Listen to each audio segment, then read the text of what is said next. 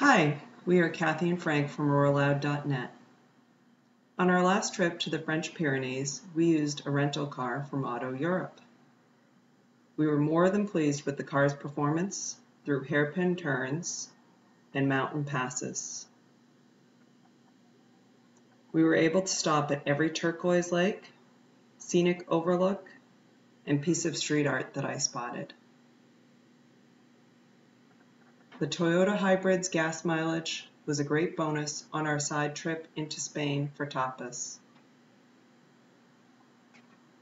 We highly recommend Auto Europe for your next trip. Sit back and enjoy the views of the French Pyrenees in our video. This is an experience you can only get with the freedom of an auto rental. Thank you, Auto Europe.